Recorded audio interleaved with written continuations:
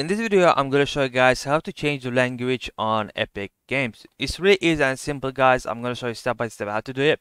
But before I show you the like the video and subscribe to After Everything YouTube channel. Click that subscribe button, alright? So with that in mind, uh, without wasting any time, let's get right into it.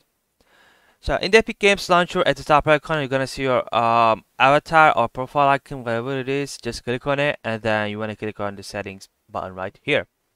It's gonna take us to the settings, and at the top, you're gonna see the language option. As you guys can see, the system default is English, and it's automatically as default is set to English for most people, I believe. Alright, so you wanna just click on it, and then just there's not much options. Like there's like 20 uh, languages to choose from. Just choose whatever you want the language to be.